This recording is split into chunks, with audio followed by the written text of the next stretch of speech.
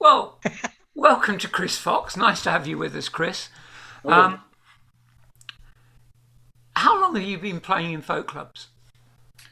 I think it's about four and a half years. Uh, I'm not. I'm not entirely sure because there's a. It's kind of like an interesting transition from uh, open mics, and then I found Cambridge Folk Club.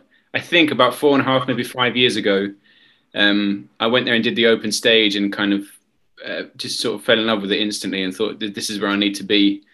Um, but I'd spent a couple of years before that, kind of playing in bars and busking and doing lots of different stuff, trying to find the sort of more receptive audience. But that was the first one that I came across where people were kind of willing to listen to the stories behind the songs. Yeah, but okay, Chris, you've finished the story now. That's not the only thing you found at the folk club at Cambridge, because when you walked out, what happened? What were people saying? Oh yeah, I, I remember. I remember the first one I went to. So it was um, it was an open it was an open stage, and uh, you had all these different types of music. I had like uh, Cajun music, blues music. Um, someone got up and played a saxophone. Two girls got up and sung a, a Russian aria. Uh, you know, you, you, know, you know, like an opera piece of music. Um, someone sung some traditional English folk, a traditional Irish folk. A guy got up and did a bodhrán solo. And uh, as everybody was leaving, it's, I mean, it's, it's kind of like a running joke now, but as everybody was leaving, and I, I found this with loads of folk clubs, people were all kind of bitching about how everybody else didn't belong there, like that all of the all of the styles were wrong. and I thought I just walked into paradise. I thought this is great because I love all this type of stuff, and it's just um, it's a perfect fit for me, you know, because I don't really sort of play in one particular style. And it was like was like heaven. I, I, thought it was I thought it was wonderful, but everybody was kind of really cross. They're like, "Oh, these guys aren't folk, and that's not folk, and they need to stay at home, and all of these different types of things." So it was a it was a very it was very eye opening experience. Can I bring up the point I was talking to Chris about just before we started recording this? which is that it's not just bitching about what is folk and what is not folk. It can actually have an effect on the artist concerned. Now, in your case, Chris, you've got a number of genres which you which you mix into what I would call Chris Fox sound. Mm. What, just before you start to think about doing a song, does it flash in the back of your mind? Ah, but is this going to be acceptable? it doesn't anymore. I have to admit, it did when I first went to the folk clubs and first started kind of sort of researching and trying to learn about the genre. I was, I was very aware that there was a lot of politics, and I kind of thought, oh, how do I fit into all of this? And I, I tried for a long time to kind of write in one particular style, but then I found a lot of the ideas that I was really happy with and sort of most pleased with, I was having to kind of let go. And I thought, this is silly. I'm not really staying true to myself. I'm trying to fit in and when I let go of that and just played my own stuff, that was when I started to get kind of more, um, well, just kind of better gigs. Really, I started to get support slots and you know got asked to come back and sort of play showcases and stuff like that. Yeah, so it was it was quite it was quite an important thing for me to recognise and then ultimately just ignore. yeah. I wish, I wish. What, mm. what was the motivation for writing that? So I got it from. Uh, it's. It, I, I got. I, I, first heard it in the soundtrack for the film Cold Mountain. I don't know if you guys have come across that in your travels. That's got a lot of very kind of old, old time Americana music in it. Um, and I love the version from the film, but it was very, very American, sort of like the accents and the singing and stuff. And then I found in the in the in the Penguin Book of Folk Songs, the English Book of Folk Songs, um, published by Penguin. Um, they've got the original English lyrics. So I wanted to do uh, a version of it on the American of, of the uh, on the American lap dulcimer, the Appalachian Mountain dulcimer, but then sing it with the original English words, and then talk about that on on stage. Um, yeah, and kind of use that as a. But yeah, that's that's where I first heard it in the film. I wish I wish, but it's all in vain. I wish I would have made again. But made again, and never shall be, till the apples grow on the orange tree.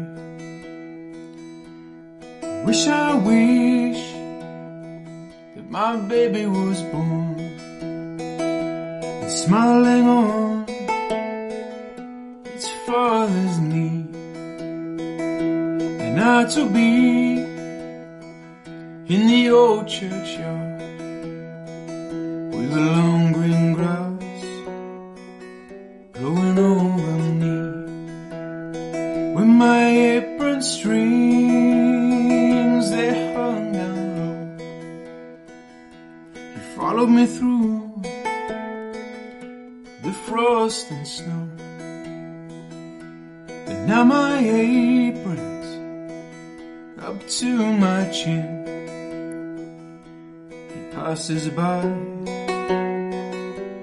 says nothing.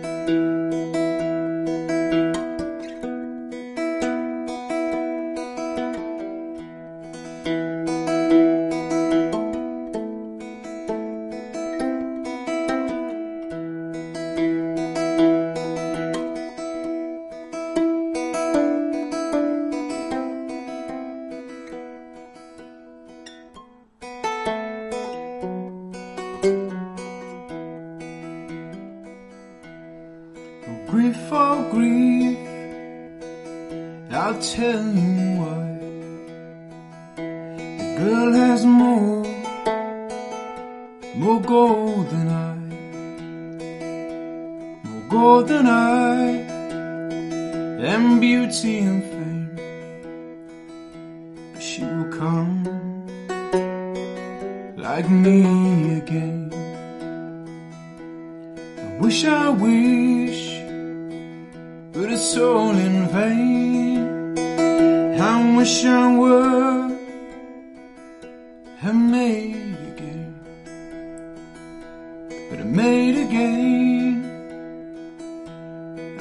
Shall be till the apples grow on the orange tree till the apples grow on the orange tree.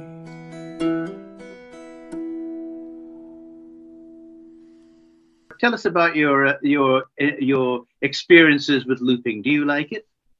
I love it. Yeah, I mean, I mean, for me, it started out as a, as a tool to kind of. Well, it started out as something I used to take busking with me, and I, I used to find it, it, I, I go and stand there and play in the freezing cold for a couple of hours, just singing and playing, and people were not that bothered. But then when I got the loop station, I could start kind of um, making like, percussive sounds, and drumming sounds, and being able to kind of free up my hands for soloing and, and singing vocal harmonies. It, it really helped just engage people a lot more.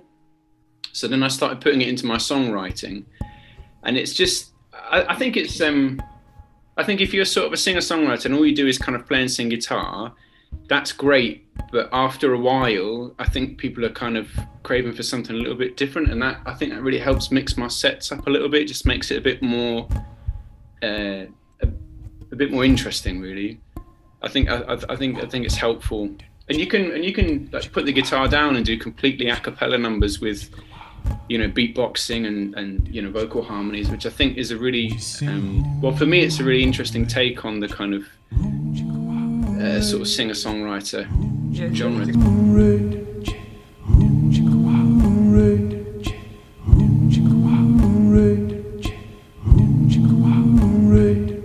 Come smugglers, come thieves, come men at large. I offer you great sanctuary with a life lit by the stars. Come villains and come fiends, and come those in toil, and better life awaits you. And with me you share the spoils. Now we sing hooray, and up she rises. Let out the sail. Come draw the anchor from the ocean. Let good times prevail. It's hooray and up she rises. Boys come to see you share the bounty and the riches. If you join with me, we sing hooray.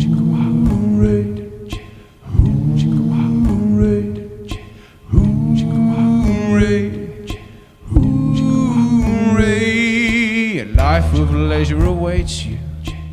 Sign up, you'll see. Come sail the compass point, smile lad, and you'll have more than you need. Well, there's those who live life honestly, but you think you want more. Come see the proof of piracy. by the bullion in my store. We sing hooray and up she rises. Let out the sail, come draw the anchor from the ocean. Good times prevail. It's a hooray and up she rises. Boys come to see you share the bounty and the riches. If you join with me, we sing hooray.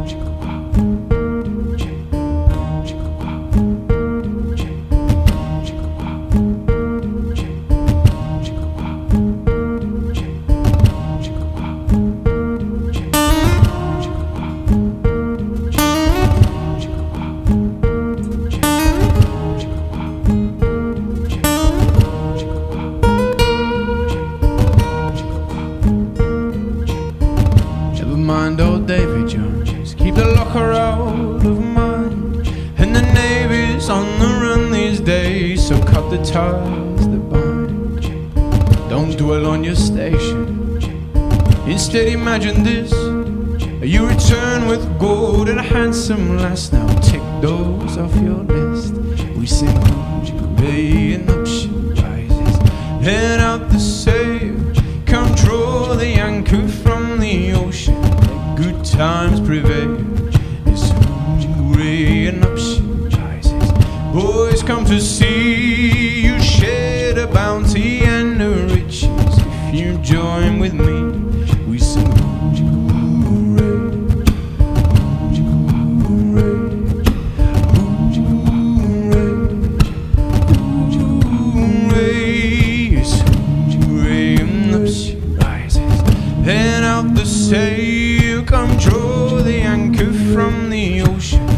good times prevail. Is raying up she rises.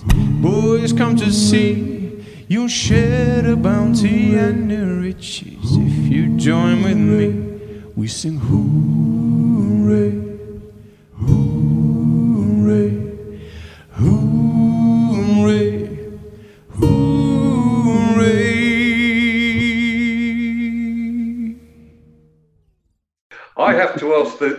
Phillips question, Chris, which okay. you would know, but basically that is: do you do real-time looping or pre-recorded looping, or both? No, I do. Um, I do. I do all real-time looping. I like it. It's much more dangerous and much more exciting. Yes, well, in Sean's words, it all goes to crap very quickly. yeah, I find the um, I find if you pre-record them because because the rooms that you're playing in are always different. I would I would build a I would build a loop at home and say pre-record it, and it would sound great in my bedroom in here. But if you take that and play it in a church, it doesn't it doesn't work the same. So when I'm on stage, I always play the first two or three numbers acoustically, so I can hear what the room sounds like, and then I know how loud to play the different parts of the loop. If you if you kind of if you try and standardize it, it doesn't really it doesn't really work because no because no two spaces sound the same. So you have to be quite aware. Um, that's probably a little bit a little bit overly technical from one. something we've never done or, or really experienced, so it's interesting. If you had a perfect world, would you prefer looping or a band? Um, Bearing the company is in at the very, moment, yeah, it's a bit of a tricky very, question. it's a very, I mean, the looping songs. There's like looping has its limitations, but then that also gives it this wonderful like the looping songs they're very much songs that you wouldn't want to play with a band because they wouldn't work like that they work in a kind of droning continuous way which is really nice for those songs um and because they were written on loop stations, they're not. I would never, I would never play them with a band, and but then I do love, you know, when I go to the studio and I have, and we and we like recorded the last album. Dan Wild, the producer, knows stacks of great musicians, and he was just calling people up every other day, and and I, and I, and I, can remember sitting there thinking, oh, you know, I'd love like one day if I was ever lucky enough to kind of um, get bowling along, I'd love to have a like a, a three piece or a four piece group and go out and do it. I don't know, to be honest with you. That would be a really, I think that would be an impossible. Uh, yeah, I don't, I don't, I, I don't know how to answer. Sorry. Chris, I think you did a, a, sort of swan, song swap thing with 20 other singer songwriters a while ago. Yeah. So basically, you went in a lottery and you ended up with one another's songs. Mm-hmm. You had mm-hmm. to do something with. How did that work out? It sounded like a fun idea. Yeah, it was. Um, yeah, it was. It was. It, it was. It was really good fun. Um, I, I got a song by a band called um, Beard of Destiny. They had a song called Ten Pence Man, which is about a homeless guy. Um, and you were allowed to kind of it had to be a cover but you were allowed to do whatever you want so i kind of took their song and uh, turned it into like a story song told from the homeless man's perspective and it was yeah mean, it was it was, it was kind of stressful i don't think i thought about how difficult it would be because i knew i didn't think we were going to have to like play them to one another live uh, and and kind of chat and i thought oh god if i make it if i do a really terrible job of it and they're sat there like hmm Thank Chris. It's going to be really awkward, but they were, but they were really, yeah, they were really um, sort of receptive, and you know, like they really liked it. And a girl, and a girl did one of mine. She did Bird of Paradise, and she kind of slowed it down into this big piano ballad, and it was amazing because I'd never. That's that's that's a very popular song for me. Like that's one people really like to hear and and the lyrics because I've had to play it so many times the lyrics have kind of lost a lot of the emotional content for me so when I heard someone else playing it for the first time, it kind of took me right back to, uh, you know, what I was thinking when I wrote it, and it was very, um, yeah, it was a really, it was a really interesting moment for me. It kind of reminded me that you have to give songs a break. So what, what is Bird of Paradise about?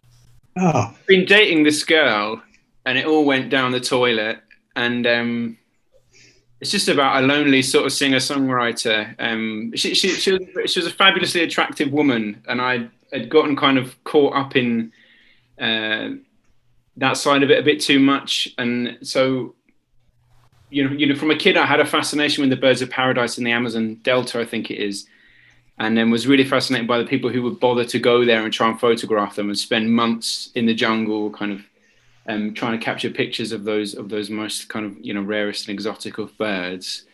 So and, and that's what it, that's what the situation felt like. The relationship felt like I was kind of a sort of a sort of sad, lonely photographer waiting for something very beautiful to happen. Um, yeah, and it's just kind of like trying to, you, you know, trying to ca- trying to sort of capture that idea. I seem to recall in there that you say about the bird of paradise flying through your window or into the window. Uh, f- through, yeah. Into is a very different song. yeah, pardon. yeah, but it brings it close to you. yeah, yeah. So yeah, it's just about um, you know, I, I, guess it's just about a lonely person who's kind of stuck at home. Um, I'm a bit of a, uh, I don't know, I, am I'm not an, I'm, I'm, I'm not, I'm not an agoraphobic, but I do spend a lot of my time at home, and I, I do try and um, get out a bit more. But I quite like sort of being at home, and uh, it was just about that. Just you know, you know, you know, sort of making a comment about how something kind of fanciful and, and otherworldly could fly into your life and kind of inspire you to get off your ass and do something. So it was, yeah. Flying through my window, pretty bird. Sing your morning song, what's the word? Stay for the afternoon. Heaven knows I'm needing you. Come inside, that'll be nice. Bird of paradise. flying to my world, pretty bird. Tell me of the things that you've seen and heard. What's out there beyond my cage? Tell me, please, before you fly away. As I know now that you won't come twice, bird of paradise.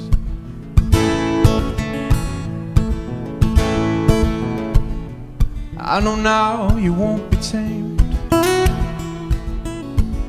I know now you'd never take my name. This whole thing is such a shame, but it's all my fault. I've only got myself to blame.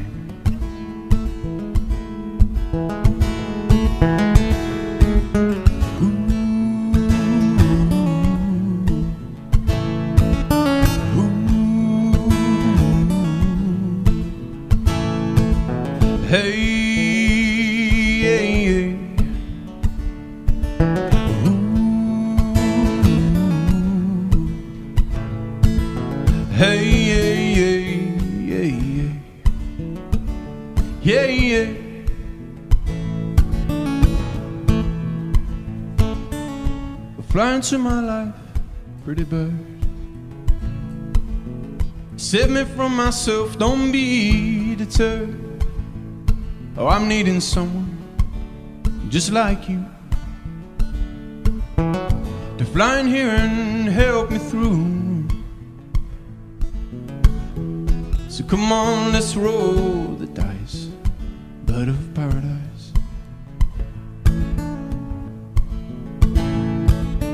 Flying through my window, pretty bird. Sing your morning song, what's the word? Stay for the afternoon. Heaven knows I'm needing you. Come inside, that'll be nice. Bird of paradise.